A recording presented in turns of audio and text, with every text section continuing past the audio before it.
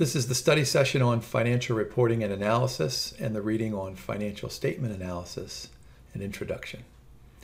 This reading could be called If you happen to remember anything about your undergraduate financial accounting days, it ought to be in the next couple of slides. It really is an introduction, really is some uh, basic information, kind of a precursor to the following uh, more detailed readings. So let's get right to the first LOS. Describe roles of financial reporting and financial statement analysis. Financial reporting provides information. Of course, this is what we want as shareholders, as financial analysts. We want information on a company's performance. We want information on its financial position, but also we want information on its changes in financial position. And financial reporting takes a bunch of forms. I mean, there are uh, financial statements that are released in the annual report. There are interim financial statements. There are audited financial statements. There are disclosures. There are management discussion, management commentary. Um, if you if you just take a look at any of these major corporations' webpage under the investors section, you know there's a list of tons and tons of uh, financial statement reporting releases. Financial statement analysis, then, on the other hand, is uh, a way to analyze, to evaluate the financial reports. We need to determine if a company is profitable. I mean, that's, of course, one important part. If it's adequately capitalized, in other words, what does the right hand side of that balance sheet look like? And can it, uh, can it meet its short and long term obligations? Financial statement analysis in the end searches for under and overvalued securities so that the analyst can form estimates and expectations of a, a company's future performance. How about roles of uh, these statements of financial position and comprehensive income and equity and cash flows? What's the purpose of these financial statements? All right, statement of financial position. What this does is it evaluates, it, uh, it measures, it reports uh, the difference between what a company owes and what a company owns. Of course, the, what the company owns, those are called assets. And these are resources that the company has control over. On the other side of the balance sheet is the liability and the owner's equity, which is what the company owes. Now, liabilities, these are contractual, and the owner's equity is not. Statement of comprehensive income takes a look at the difference between what are the P times Q, price times quantity, the revenues that the company is able to generate, versus the costs of generating those revenues. And so at the bottom of this statement of comprehensive income, we have what's called a net income. So we have revenues plus maybe some other income too, minus minus expenses. Now, a quick historical personal point here. When I was an undergraduate of, you know, 19 or 20 years old in my first accounting class, I remember my accounting professor explained the difference between these two statements in the following way. He said, You know, the statement of financial position, this balance sheet, is like taking a picture of a company on any given day. The statement of comprehensive income is like taking a movie of what a company does in its operations over time. And I thought it was kind of silly uh, back then, but as I'm sure many of you know, a 19 year old's brain is not fully formed. And so uh, I was wrong. I mean, this is a perfect way to describe these two financial statements. And interestingly enough, it has stuck with me all these years. How about the statement of changes in equity? What this does is this provides information on the owner's investments. Uh, what are we faced with as a business? What's the goal of the business? Maximize shareholder wealth. Well, how do we do this? We make capital budgeting decisions that are going to swell the equity portion of the balance sheet so that the corporate leaders can do one of two things. They can take some money out and pay a dividend out of retained earnings, or they can reinvest it back into the company. That's called capital budgeting. And so that statement of changes in equity is a pretty critical component of, of the balance sheet, even though it's its own separate, its own separate statement, but uh, it'll be summarized on the balance sheet. And then the statement of cash flows. This is what a financial analyst is really interested in. This is a disclosure of the company's uses and the sources of cash.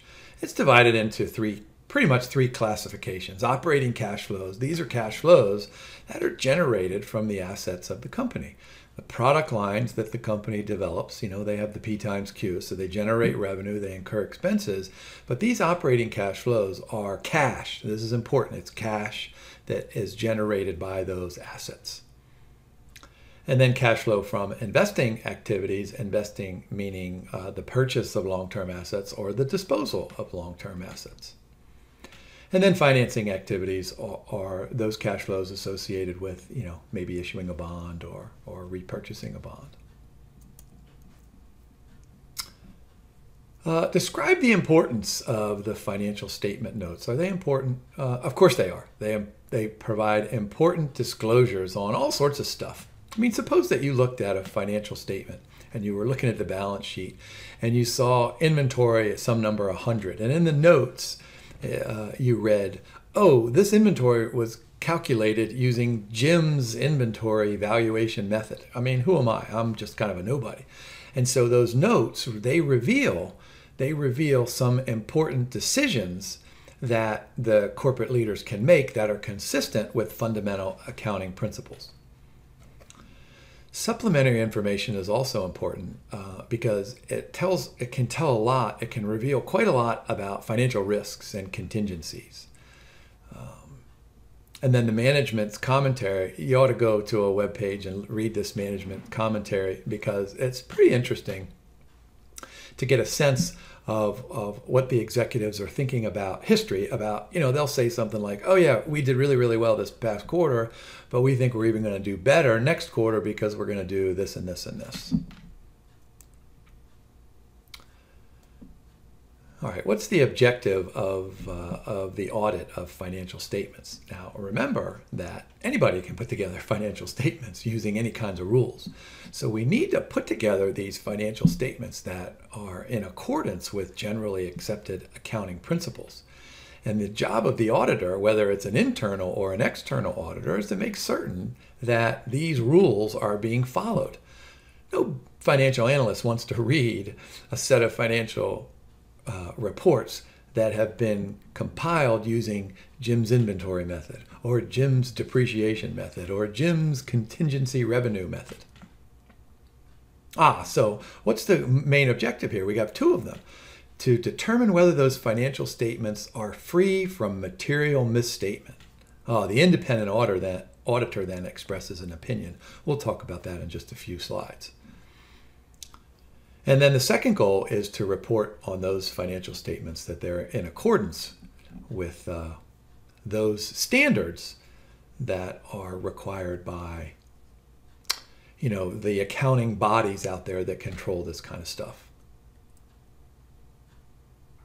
Here we go. What are the different kinds of audit reports? We can go all the way from an unqualified audit opinion which pretty much means that the auditor has found that these things are in accordance with accounting standards.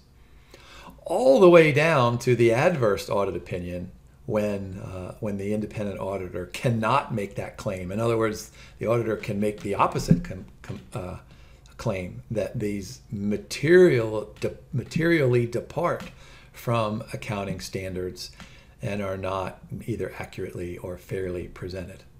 And then there's one in the middle, a qualified audit opinion, and that allows for, you know, kind of some room in which the auditor finds maybe some information that was not made available or maybe it's not available or maybe there was an exception to some accounting standards. That's a qualified audit opinion.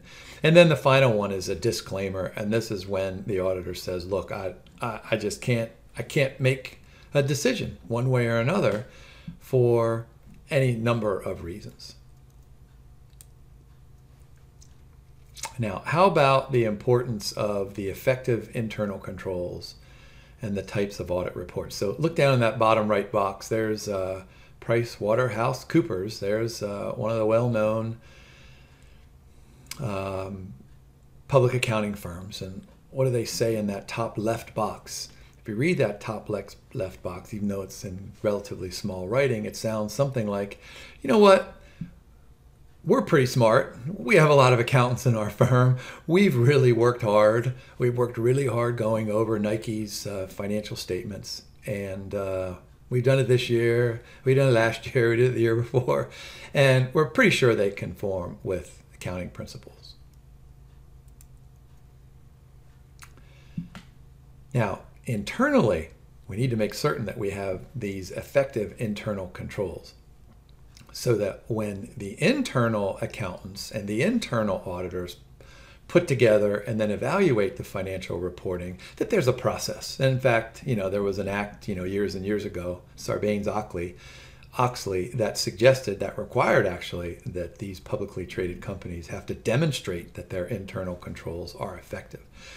And of course, um, Sarbox was in response to lots and lots of companies that you know pretty much just lied to us as investors, as shareholders, and as uh, as auditors and as financial managers. And so what the act does is it, it requires management to take responsibility, not just the accounting people, but but management. In fact, here's a statement from Nike Management of Nike is responsible for the information and representations contained in this report. Yeah. Uh, what else is out there? So, financial analysts are going to try to find over or undervalued securities based on financial reporting and then their analysis of that financial reporting. But financial analysts also use quarterly or semi annual reports um, they look at things like insider trading. They look at basic financial statements that may or may not be audited since the last uh, audited financial statement because even without an official audit, there's still valuable information contained in those reports. Of course, financial analysts can go to company websites and read the press releases and participate in the conference calls. I mean, company websites, of course, you know, you guys know this are fantastic sources of information. I love to tell my students when, when we have an assignment, go and look at all their product lines and see all the brand names. Like, you know, I think we we kind of hinted on that in a previous video when we did the Johnson & Johnson board of directors. Go and see what Johnson & Johnson makes. They have three business segments. They make all sorts of stuff. And then there are periodic earnings announcements as well. All right, what about the steps? in the financial statement analysis framework. All right, so what we need to do, like many, many things, is to start with a purpose, give a context, you know, try to figure out what is our approach, what are our goals, and the format. And we collect the data, try to put it in uh, some uh, common sense categories, and then process the data using all sorts of analytical tools, whether those are whether those are accounting related or investment related or derivative security related. We have all, all these computer algorithms that are going to help us process the data. And then, of course, we need to analyze it. And this is where the financial analyst skill set comes into play, whether or not they can ultimately decide whether or not the uh, security is over or undervalued and then developing conclusions and then communicating those conclusions and making recommendations. And then this is probably uh, this is a really critical step here is to is to do the follow up and to provide the feedback and the looping because you know, inevitably a financial analyst is going to make a mistake. And so it's critical to go back and say, all right, this led me, this led me, this led me. You know, these three things led me to believe that this particular stock was undervalued. And in fact, over the next six or 12 months, that stock lost 10 or 20%. Where did I make my mistake? And that's critical. Nobody, no shareholder, no investor is going to expect a financial analyst to be perfect. The only people that we expect to be perfect are referees in sports contests. But nobody expects, them, but they expect you to learn. They expect you not to make the mistake, the same mistake again. So follow up is important. And I think that takes us through our introduction. Hopefully, what I said at the beginning of the slide was in fact true that uh, I bet you remember lots of this stuff from your financial accounting days. So now we'll look at some reporting standards, and then look at we'll talk take a take a look at all the different statements and all the different important accounts.